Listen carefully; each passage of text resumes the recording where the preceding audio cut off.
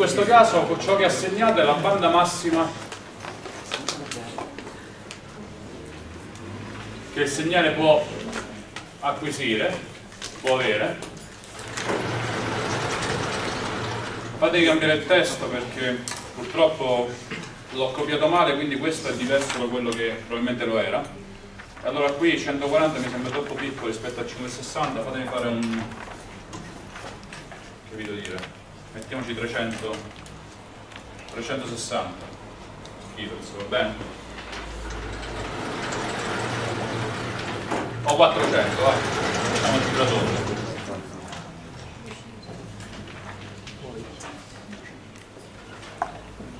capite che l'ho dovuto cambiare perché se con 560 kHz li ottengo con 10 bit per avere 186 che era prima mi serviva forse pochissimi bit, 6 bit, 4 bit, forse un po' troppo poco, non era proprio un granché. Uh, vediamo un attimo così se funziona.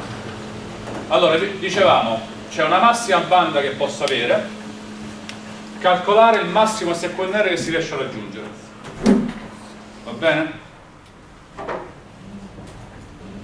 È chiaro che una massima banda significa un massimo numero di bit che posso utilizzare che corrisponde a un massimo SQNR che posso avere. Quindi mi sta semplicemente dicendo di calcolare il massimo numero di bit che puoi permetterti quando la banda è vincolata a essere minore di 400 kHz.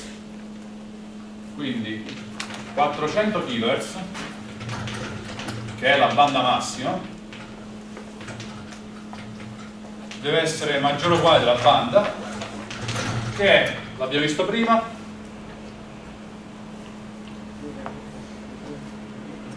Cos'era? 4 su T con B? 4 su T con B. Sì. Eh, cioè 4 per Ni per FC cioè la frequenza di cambiamento è due volte la banda più la banda di guardia quindi 2 per 4 fa 8 Ni W più W di guardia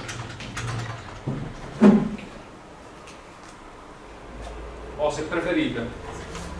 Lasciamolo proprio così perché tanto la frequenza di campionamento è fissata in questo caso perché la frequenza di campionamento è due volte la banda più la banda di guardia che nel nostro caso fa nel precedente esercizio la banda di guardia era un parametro che potevate ottimizzare. In questo esercizio invece la banda di guardia è presente nel testo esercizio non è domanda, è fissata, non potete toccarla in particolare la banda è 5 kHz, la banda di guardia è 2 kHz, quindi questo fa 7 kHz per 2 14 kHz.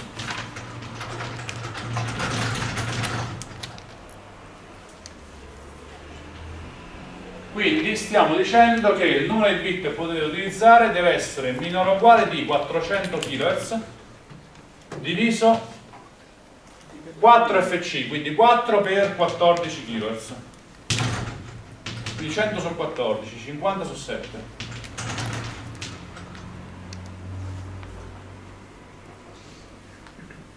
5 per 75, 6 per 7 42 7 per 7 49 e quindi è 7 qualcosa. 7 14 a noi 14 non ci interessano stanno dicendo semplicemente che Ni massimo è uguale a 7 bit non posso avere più di 7 bit. Ok?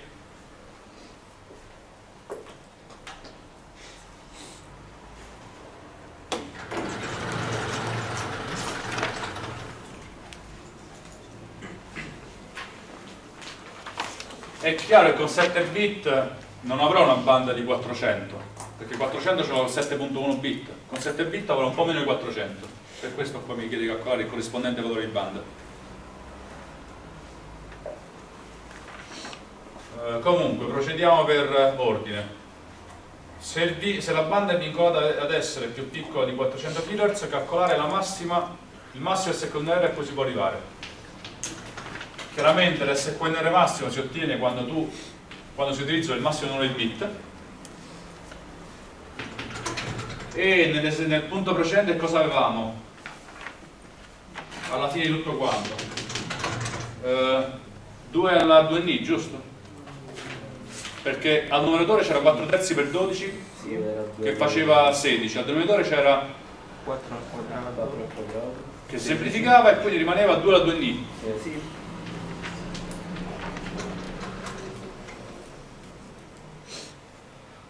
ok? E quindi il 2 alla 14. 2 al 10 è 1024 per 2 per 2 per 2 per 2. Ah, Quanto fa? 16.384. 384. Che in decibel è? Vabbè, lo potevamo sapere subito perché è esattamente 42. eh, 42. Eh sì, perché prima avevamo 10 bit e avevamo 60 decibel. Ora abbiamo 7 bit sono 3 in meno. 3 per 6 18, 18 dB in meno. 60 meno 18 fa 42. Ok? Fate sempre questo conticino per verifica. Eh, questo è l'SQNR massimo a cui si può arrivare. Eh, calcolare anche i corrispondenti livelli di banda e di rate.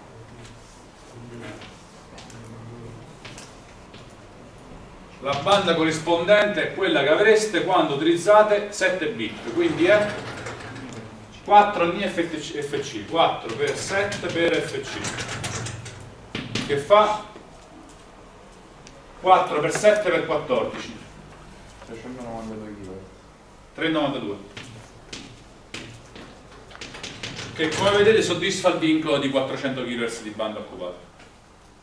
E il bitrate invece è un bit ogni T con B, quindi uno su T con B, eh, ma voi avete già calcolato il numero 4 su T con B, quindi è semplicemente quello di prima, diviso 4, quindi è 7 per 14, 98 kilobit al secondo, sbaglio?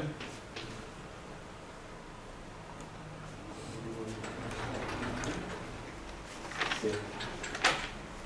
Per verifica, verificate che la banda è inferiore a quella di prima, lo è, e che il bitrate è inferiore a quello di prima, lo è.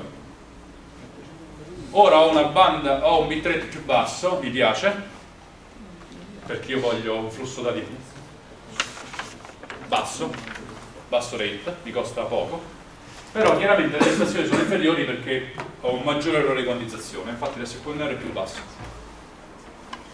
Va bene? Direi che di esercizi ne abbiamo fatto a sufficienza, possiamo eh, chiudere l'argomento conversione analogico-digitale, così da domani passiamo alle modulazioni digitali, che è la grossa parte del corso.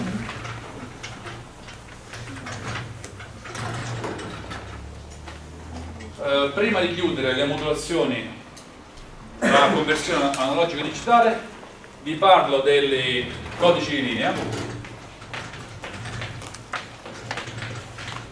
Diremo veramente brevemente, brevemente soltanto poche, poche cose.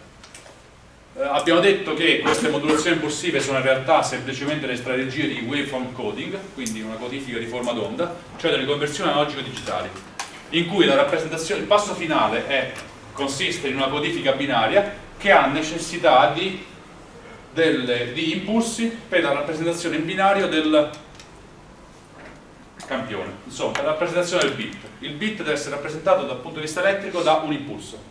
Che impulso utilizzare? Nella pratica, in teoria gli impulsi sono quelli che volete voi. Nella pratica le forme più comuni di impulsi che si utilizzano sono 4-5 e in particolare sono 1 unipolar non return to zero. Unipolar. Return to zero. Di che stiamo parlando? di questi due impulsi base per rappresentare due bit 1 e 0 se questo è il tempo di bit allora l'uno viene rappresentato da un impulso rettangolare all'ampiezza pari al tempo di bit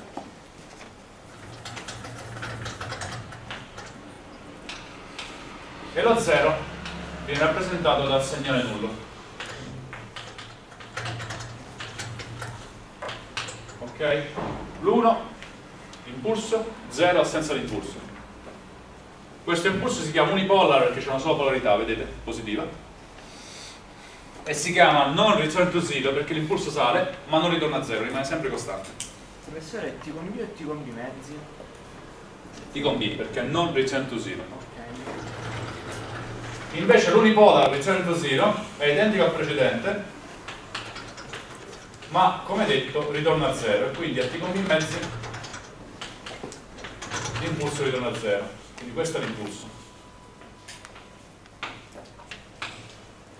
mentre per lo 0 la rappresentazione è la stessa di prima. Ok?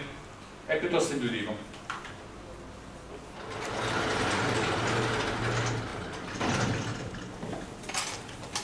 C'è veramente poco o nulla da dire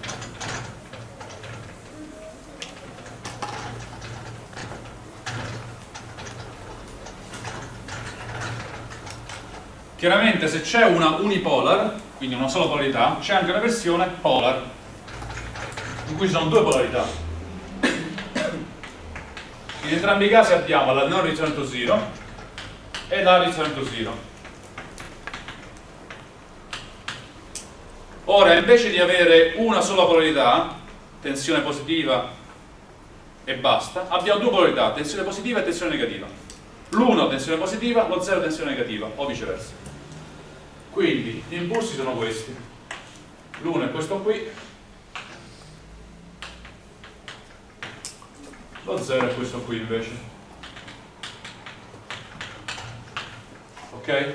Tensione positiva e tensione negativa. Non return to zero, quindi non ritorna a 0. Per tutta la durata del tempo di bit rimane costante, quindi un impulso rettangolare.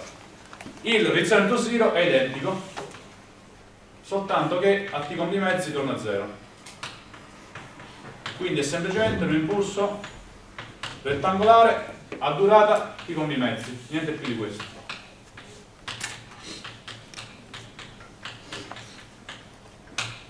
ok?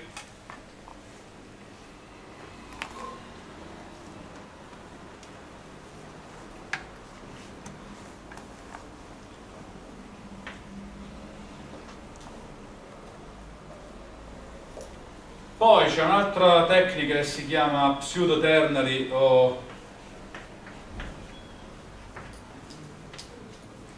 bipolar o alternate mark inversion.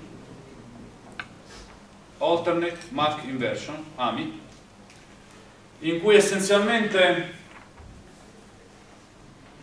la rappresentazione è questa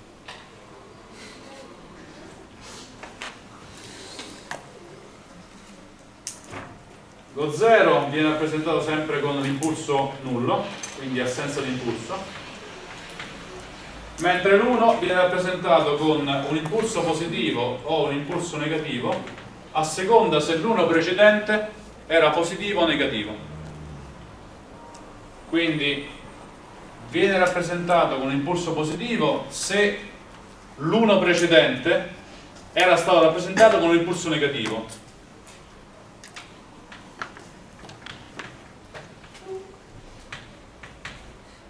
mentre viene rappresentato con un impulso negativo se l'uno precedente era stato rappresentato con un impulso positivo. Ok? per questo si chiama alternate mark inversion perché fate una marcatura alternata a inversione.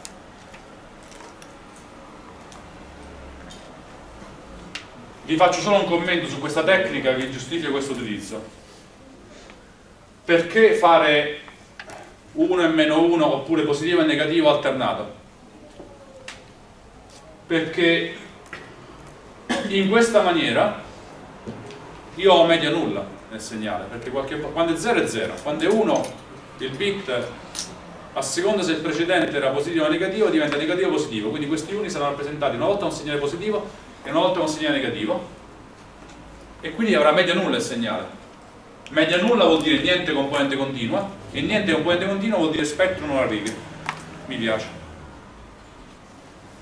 inoltre è una piccola forma di memoria perché qui io l'1 codificato all'istante corrente dipende dal precedente 1, quindi c'è memoria nel codificatore.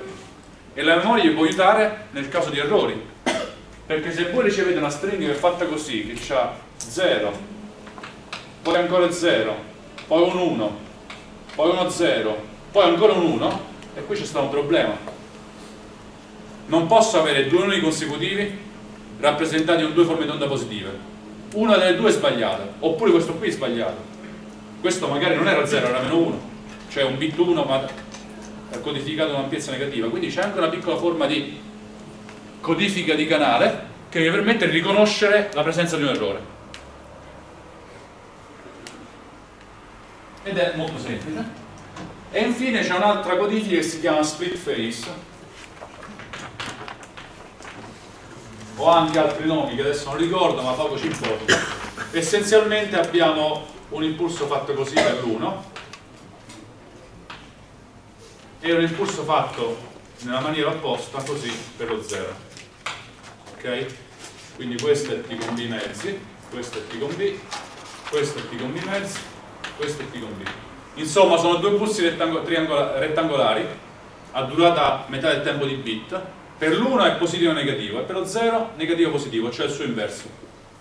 Eh, opposto scusate opposto. Anche questo a media nulla vedete? Oddio dipende sempre dai bit come sono. No in realtà questo è sempre media nulla. Anche questo a media nulla. Se i bit sono i d a probabilità un mezzo mezzo di 0,1 solo quella unipolar invece a media non nulla vedete? È sempre positiva la media. Qualche volta c'è lo 0 rappresentato da un 0 qualche volta l'1 rappresentato da una tensione positiva e media tensione positiva. Componente continua in ogni caso qualsiasi sia la forma di codifica utilizzata escluso l'AMI che ha presenza di eh, memoria voi potete sempre scrivere il segnale in uscita al PCM come un XT uguale somma su K appartenente a Z di una con K P di T meno KT infatti A con K fa o 0 e 1 quindi è uguale proprio a B con K. Nel caso di polar acceso spento. Quindi se il bit fa 1 l'impulso c'è. Se il bit fa 0 l'impulso non c'è. Invece negli altri casi split face vedete oppure eh, polar l'1 viene, tra, viene, tradotto fra virgolette con una tensione positiva. Lo 0 con una tensione negativa o se preferite l'1 con l'impulso P. Lo 0 con l'impulso meno P mi sa la trasformazione mi mappa. I bit unizeri in simboli 1 meno 1 2 pi con k meno 1 così quando il bit fa 1 viene 1 più l'impulso. Quando il bit fa 0 viene meno 1 meno l'impulso. E l'impulso è uno di quelli che vedete lì. O l'impulso rettangolare ampio T con B o l'impulso rettangolare ampio T con B mezzi oppure la coppia di impulsi rettangolari positivo e negativo ampio T con B mezzi. Ok?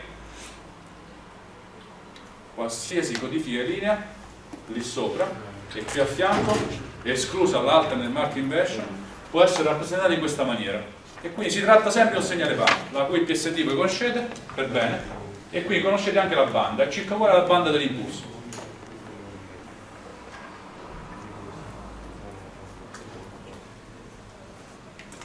Va bene. Se non avete domande impieghiamo quest'ultima quest mezz'ora a uh, fare qualche commento, dare qualche esempio di applicazione della pratica.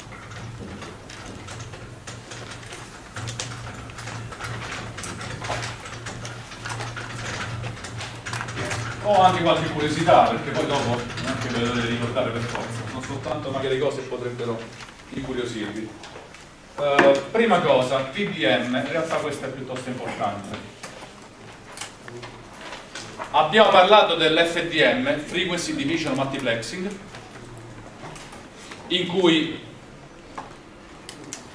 se il canale era più ampio e io occupavo soltanto una sottoporzione del canale in banda, voleva dire che rimanevano tanti altri slot in frequenza liberi che potevano essere utilizzati per mandare altrettanti messaggi.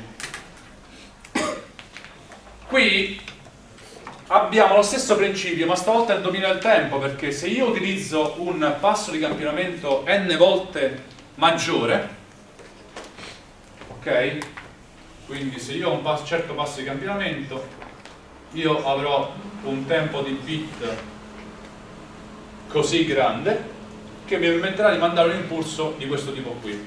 Se io invece utilizzo un tempo di campionamento n volte maggiore, allora il tempo di bit sarà n volte più piccolo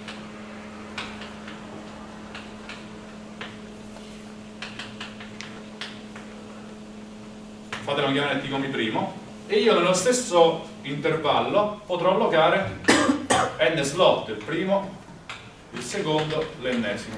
Il tempo di bit adesso è molto più stretto, mi rimangono n-1 slot liberi che posso utilizzare per darli a altri n-1 segnali che posso voler trasmettere. È chiaro? Ripeto, se io utilizzo un tempo di bit n volte più piccolo, quindi se utilizzo una, frequ una frequenza di cambiamento n volte più grande, mi rimangono n-1 slot liberi che posso dare altri n-1 messaggi che voglio poter mandare sullo stesso canale. Ok? Chiaramente il prezzo da pagare è che nel primo caso avevo degli impulsi molto grandi, quindi banda molto piccola. Adesso ho stretto gli impulsi di n volte, ho allargato la banda di n volte. Quindi se io facessi un disegnino molto semplice in cui metto qui il tempo e qui la frequenza, nel caso dell'FDM avevo dei segnali a durata, tutti i segnali erano sovrapposti nel tempo, ma separati in banda. Quindi aveva una situazione del genere.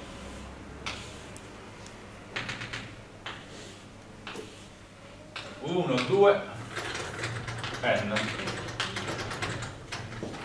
Nel TDM invece, quindi tutti i segnali occupano tutto il tempo a disposizione, ma sono separati in banda. Ogni segnale ha una banda differente e li posso separare facilmente con un filtro passabanda. Nel TDM invece il principio è lo stesso, ma sono ribaltati gli assi. Perché nel tempo li separo facilmente perché ogni segnale sta in un suo slot temporale separato, è ortogonale all'altro, non sovrapposto. Quindi tutti i segnali sono non sovrapposti nel tempo, ma avendo impiegato un impulso n volte più stretto avrò una banda n volte più grande quindi occupo tutta, tutta la banda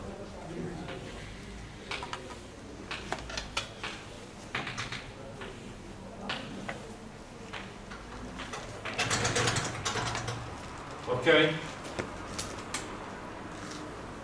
c'è bisogno chiaramente di una ricezione sincrona perché io devo sapere dove comincia il simbolo per poterlo decodificare e poi convertire in digitale, ma non solo, devo anche sapere poi dopo qual è lo slot temporale mio.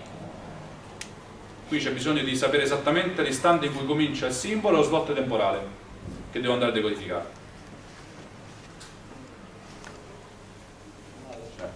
Se io ricevo questa stringa di bit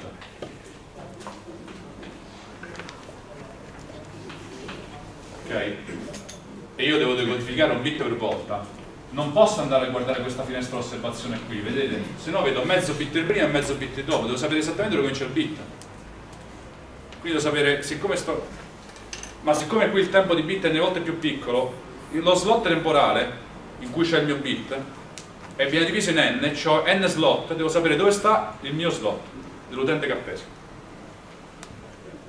Oltre al FDM e TDM c'è anche un'altra terza forma di accesso multiplo o di multiplexing che si chiama CDM, Code Division Multiplexing. Questo era Time Division Multiplexing. Non la facciamo, vi basti sapere che in questo caso tutti i segnali occupano, sono sovrapposti nel tempo, ma sono sovrapposti anche in frequenza.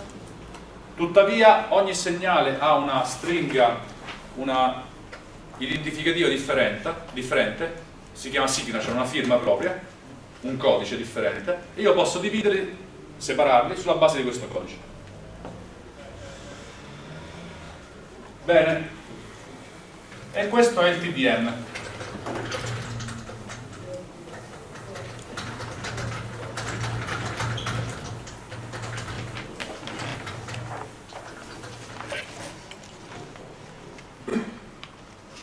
Un altro caso in cui la conversione analogico-digitale viene utilizzata è nella linea telefonica, in particolare nell'ultimo miglio, o meglio, nella stazione telefonica più vicina a casa vostra, perché nell'ultimo miglio, cioè nella tratta che va dalla stazione telefonica più vicina all'utenza, all'utente stesso, le telefonate, quindi il segnale vocale, viene trasmesso in analogico una volta che arriva alla prima stazione telefonica più vicina, il segnale viene convertito da analogico in digitale attraverso il sistema PCM. Quindi questo argomento che vi sto per dire è la trasmissione del segnale vocale sulla linea telefonica. Lo chiamo TDM e PCM per il motivo che vi dico a breve. Uh, come funziona? Curiosità. La banda del segnale vocale va da circa 300, la PSD del segnale vocale va da circa 300 Hz a 3300 Hz, quindi è un aspetto del genere.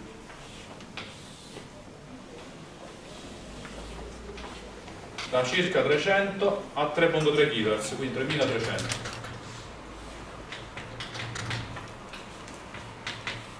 Va bene? E chiaramente c'è la stessa cosa dall'altra parte, perché è un segnale reale. Si utilizzano nel PCM che sta alla prima stazione telefonica. Filtri anti-aliasing perché il PCM è fatto da un filtro anti-aliasing poi un cambiamento sample and hold e poi una quantizzazione nel primo sblocco che è un filtro anti-aliasing si utilizza un filtro anti-aliasing a a 3.4 kHz ok?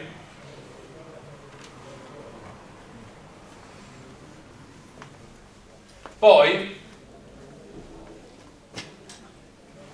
il campionatore campiona a una frequenza di 8 kHz. 8 kHz è il doppio della banda più la banda di guardia, giusto? E se io ho una filtro anti-aliasing a 3-4, per arrivare a 4, il cui doppio fa 8, ci stanno 600 Hz sono 300 a destra e 300 a sinistra. Quindi da 3 3 qui c'è il filtro anti-aliasing che sta a 3 4 quindi questa fatela chiamare doppio uguale 3.4 kHz questa è FC mezzo cioè 4 kHz ci stanno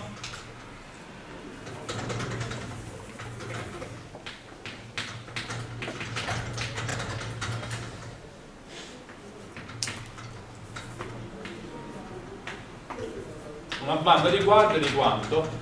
Eh, da 3,4 a 4 ci stanno 600 Hz ok? non è importante, non scrivete sta video registrato, sta sul libro non ve lo chiederò mai all'esame, sono curiosità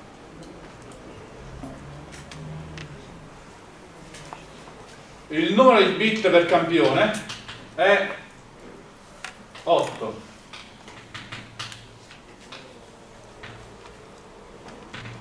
cioè il quantizzatore lavora 8 bit quindi eh, 2 alle 8 quant'è? 256 livelli. Di conseguenza il bitrate è 8 bit per campione. 8000 campioni al secondo 8 per 8 64 kilobit al secondo. Da lì in poi la trasmissione nella linea telefonica nella PSTN Public Switched Telephone Network quindi la rete telefonica nazionale avviene in digitale e spesso avviene su fibra ottica perché il grosso delle trasmissioni arrivano, arrivano avvengono su fibra ottica.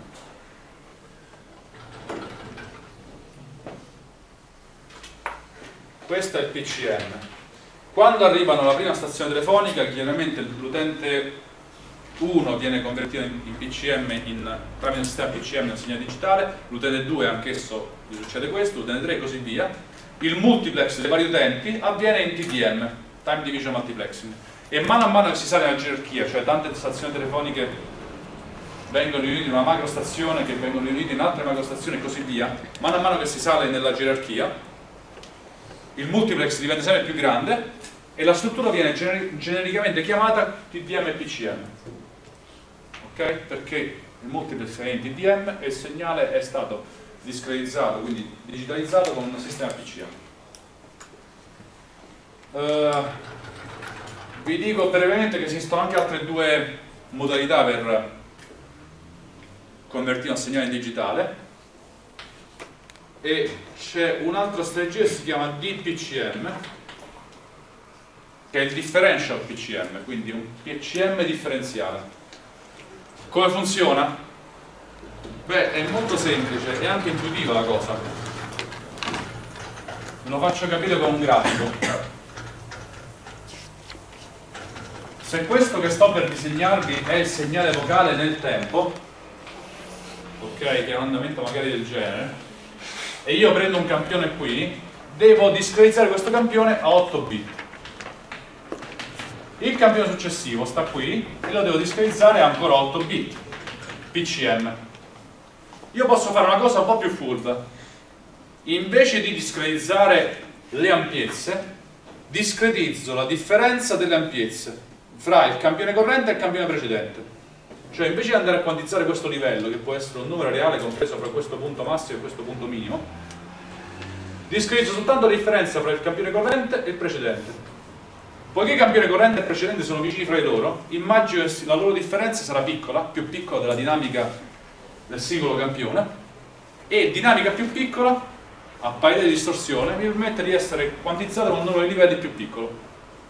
Quindi io vado a, a discretizzare, quindi a quantizzare non il singolo campione, ma la differenza dei campioni. Differential PCM. Chiaro? Quindi non, non, campio, non quantizzo questo valore, ma quantizzo questa differenza, che è una dinamica più piccola, quindi posso utilizzare meno bit. Se faccio così, a parità di distorsione più o meno riesco ad avere bisogno non di 8 bit ma addirittura di 4 bit e quindi il bit rate diventa 32 kilobit al secondo.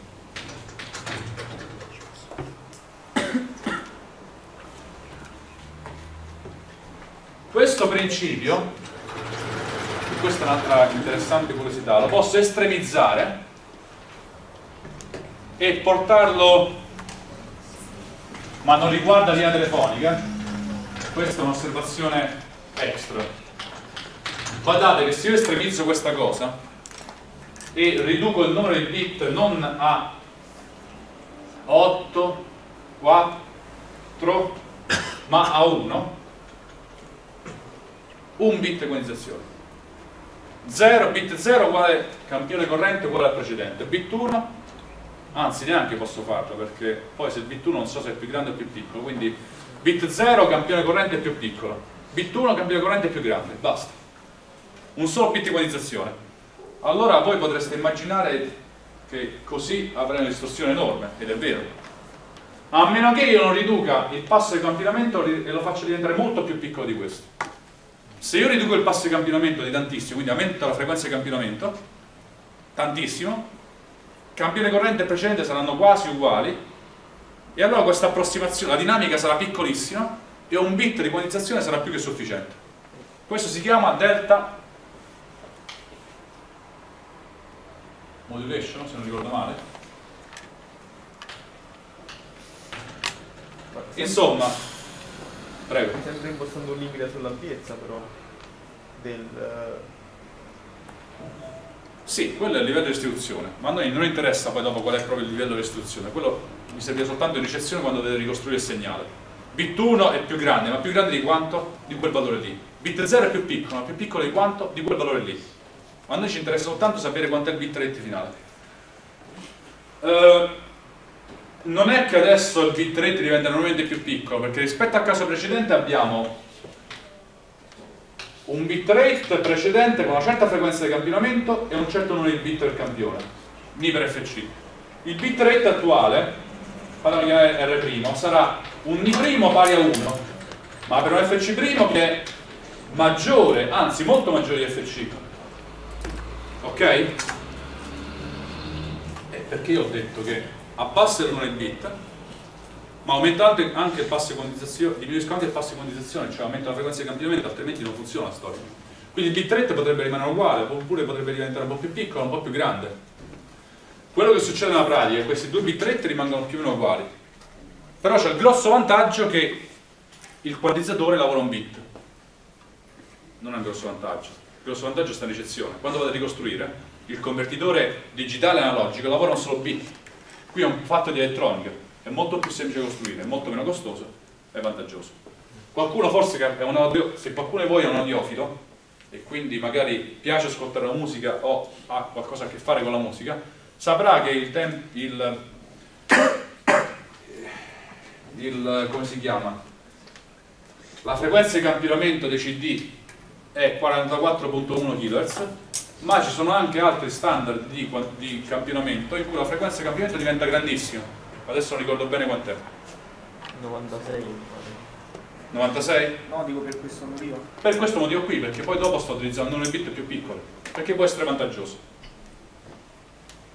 Sto cambiando molto di più dell'inverso della banda, qual è il motivo? Non serve a nulla, il 3MNE questo mi dice che non...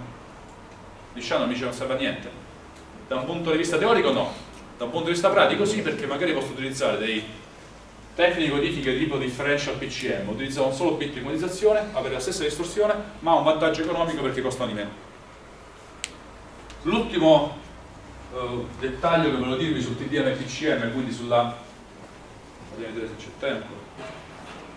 Stiamo andando fuori tempo.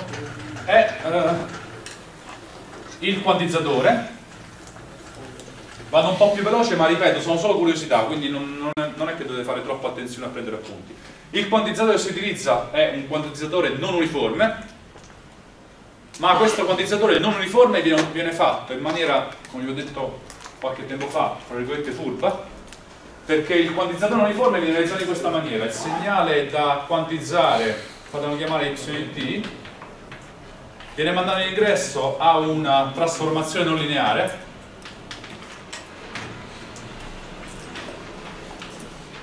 la cui uscita è una variabile y' di t uniforme. A questo punto utilizzo un quantizzatore uniforme. Quindi il quantizzatore non uniforme che viene utilizzato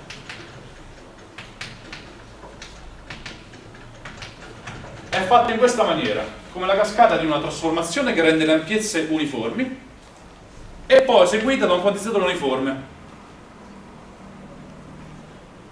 Nel, per il segnale vocale nel sistema, nella, uh, linea, sulla linea telefonica, quindi la trasmissione del segnale vocale sulla linea telefonica, la trasformazione che si utilizza è una trasformazione del genere, in cui metto qui le ampiezze normalizzate in ingresso e qui le ampiezze normalizzate in uscita,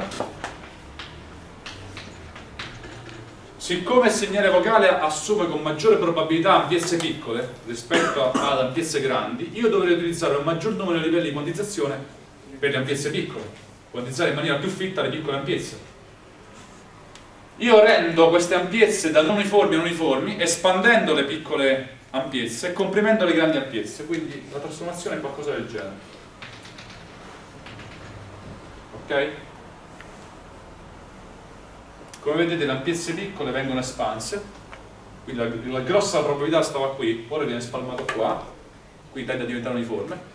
E invece le grandi ampiezze vengono compresse e vanno qui. Quindi questa, piccola, questa grossa fetta che riserva solo una piccola probabilità viene mappata in una piccola fetta. Così piccola, fetta, piccola probabilità corrisponde a piccola fetta di ampiezze. Grossa probabilità corrisponde a grossa fetta di ampiezze. Distribuzione uniforme la legge del quantizzatore non uniforme che funziona in questa maniera si chiama legge mu in America legge A in Europa ed è una trasformazione di tipo logaritmico. Chiaramente in ricezione devo utilizzare un interpolatore non uniforme, quindi utilizzo un interpolatore standard, poi però devo metterci una trasformazione inversa a questa altrimenti il segnale sarà distorto. Il tutto si chiama compander perché in trasmissione, cioè quando quantizzo, sto comprimendo alcune ampiezze. Le grandi ampiezze vengono compresse. compresso. In recessione faccio la trasformazione opposta, quindi espanderò le ampiezze più grandi, expander. La coppia dei due compressor expander si chiama sinteticamente compander. Ok?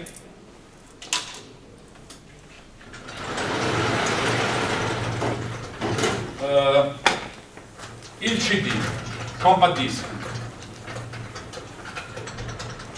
Anche lì si utilizza un, TDM, un PCM, perché? Perché è una conversione logico-digitale in cui il canale destro e sinistro, che ha due canali, la, la, il CD è stereo, ok? Vengono campionati a 44.1 kHz, badate l'udibile va dai, 10, dai 20 ai 20.000 Hz, quindi 20 kHz. Nessuno arriva a sentire 20 kHz, forse l'orecchio umano anche più adenato arriva a 16 kHz, ma teniamoci nei casi estremi, 20 kHz. Da 20 kHz a 44.1 vuol dire ci sono 4.1 kHz in più, quindi di banda di guardia è la, la metà di questi due, quindi di questi, di 4.1, quindi sono 2.05 kHz di banda di guardia. Viene convertito in digitale con PCM e segnale, la quantizzazione arriva a 16 bit per campione, quindi è enorme. E eh, poi ci sono anche delle tecniche di codifica di canale perché poi dopo in riproduzione dovrò leggere quei bit e potrebbe esserci un errore nella lettura io vorrei, vorrei, poter correggere quegli errori, altrimenti un errore nella lettura causa rumore aggiuntivo. In questa maniera si arriva a un SQNR dell'ordine 90 e più decibel, no forse anche di più, 120 dB, non ricordo. Sono curiosità, quindi non è molto importante. Infine, in questi ultimi 5 minuti voglio dirvi qualche altra curiosità che riguarda l'argomento Linear Predictive Coding.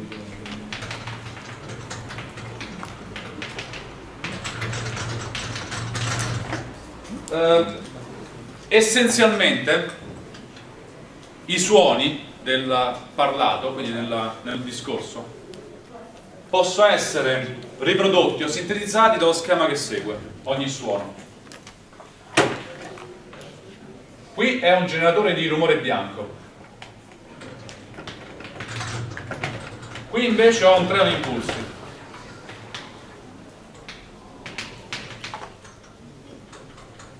A frequenza F0 qui ho un tortolino che scala che va sopra o sotto. Ottengo un certo segnale in tempo discreto W con N. Mando in un filtro AR la cui uscita Y con N è uguale somma su uh, I che va da 1 a P di A con I, Y con N meno I. Quindi è un filtro R, l'uscita corrente dipende dalle P passate, P-1 passate, uscite passate, più la, P, la, zero, la prima, quindi da 0, P-1, quindi l'uscita, no scusa, 0 no, quindi sarebbe anticosale. L'uscita corrente dipende dalle uscite passate più dall'ingresso corrente, e l'uscita y con n. Cioè con questo blocco qui, con questo sistema qui posso sintetizzare qualsiasi suono. Che vuol dire suono? Bene, i suoni si, si, si differenziano in sordi o sonori. I suoni sonori sono quelli in cui le corde vocali vibrano. I suoni sordi sono quelli in cui le, so le corde vocali non vibrano. Un esempio di suono sordo sono tutte le consonanti, quasi la gran parte delle consonanti un esempio di suoni sonori sono tutte le vocali, infatti se adesso emetto la vocale A, A le corde vocali stanno vibrando, ok? E anche qualche consonante, ad esempio la S in sbagliato, la S sonora, Zzz, differente da S in sasso, S. la S in sasso è sordo, la S in sbagliato è sonora. Quindi, due classi di suoni, sordi e sonori. Per i sordi utilizzo il rumore bianco. Per i sonori stanno vibrando le corde vocali e quindi è un suono periodico, un treno di impulsi. A che frequenza? Una certa frequenza determinerò. Lo mando in un filtro e sintetizzo quel suono. ok? Ora l'idea è questa. Perché campionare il segnale vocale quantizzarlo e mandare i campioni di quel, di quel, i, i bit di quel campione? Invece di riconoscere che suono è trovare i coefficienti dei filtri che mi generano quel suono e mandare i coefficienti dei filtri. In ricezione sapendo i coefficienti dei filtri che ho appena ricevuto rigenero quel suono, lo sintetizzo uno vale l'altra, è la stessa cosa, soltanto che magari in un caso ho bisogno di un certo numero di bit, nell'altro caso forse posso utilizzare meno bit ed è proprio quello che succede. In particolare in questa maniera posso abbassare il bitrate per il segnale vocale dai 64 kilobit al secondo per il PCM ai 32 kilobit al secondo per il DPCM ai circa 10 kilobit al secondo se utilizzo questi codici che vengono utilizzati nel nel, per trasmettere il segnale vocale nel sistema cellulare, almeno fino a quelli passati, GSM. Adesso non so. In realtà posso arrivare anche a molto di meno, si possa arrivare anche a rate di compressione ancora maggiori, si può arrivare addirittura a 2.4 kilobit al secondo. Infatti, vi faccio un esempio, un suono dura più o meno una ventina di secondi, 20-30, poi dopo nei successivi 20-30 c'è un altro suono, quindi devo sintetizzare un altro suono e così via. In 20 millisecondi io devo mandare uno, un bit per sapere se è un suono sordo o sonoro. Ok? Se è sordo lo genero con un rumore bianco, se è sonoro con un treno impulsi, ma devo sapere se è sordo o sonoro. Un bit poi devo mandare diciamo il coefficiente b con 0 che posso rappresentare con 5 bit. Poi devo mandare i coefficienti del filtro R A con 1, A con 2 e ne bastano anche 4 A con 4 e questi magari li rappresento con 9 bit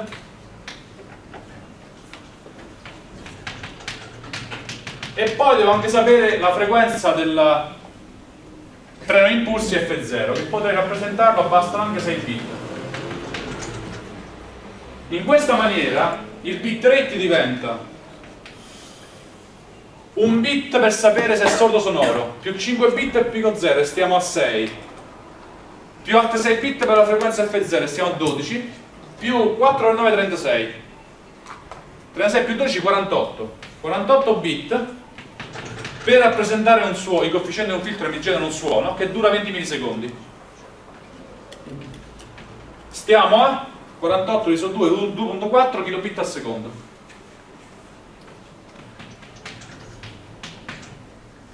E già così le cose funzionano. Certo le prestazioni non sono eccezionali quindi è un po' rumoroso ma è perfettamente intellegibile